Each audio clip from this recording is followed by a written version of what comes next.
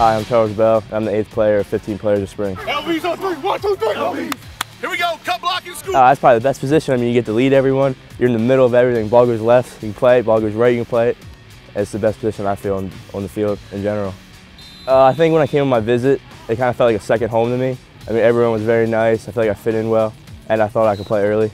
If I could play any other sport, I'd probably pick baseball just because I played it since I've been growing up, since I was little, and it's always stuck with me. I think I'm pretty mellow, like modest guy, but I think I think everyone likes me for the most part. At least I hope so.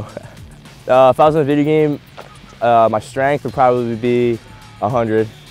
My speed, I'm just gonna say 100 all around, honestly. Yeah, 100 everything. Speed, oh man, I'm not very swaggish. You can tell I got this thing on my legs, probably like a 50.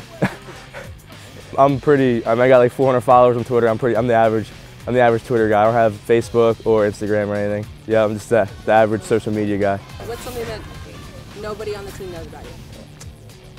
I would say, even though it's lame, probably my first name, like my real first name, uh, it's Horace.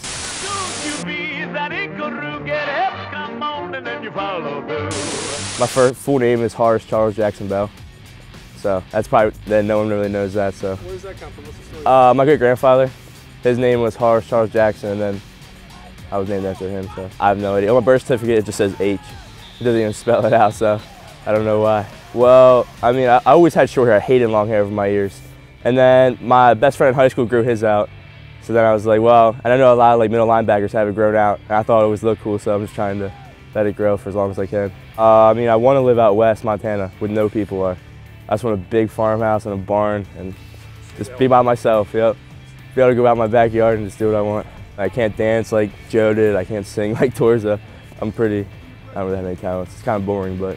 If you could eat lunch with any living celebrity, who would it be and? Oh, Jennifer Aniston, by easily. She's just my favorite actress. I, she's, yeah, she's amazing. If you had to impress her with a dance move, I would just slow dance with her. I would just, you know, I just put my hands on her hips and just slow dance. You want to show them what it's like with me? Yeah, you can come here. I can act like Jennifer Aniston. Yeah. I would just grab the hips. Hopefully my hands don't slip or anything, but I would just keep the hips and just move back and forth. That's so bad. That's so bad. Here it is. All right, Charlie, you're done. All right, sorry I was boring.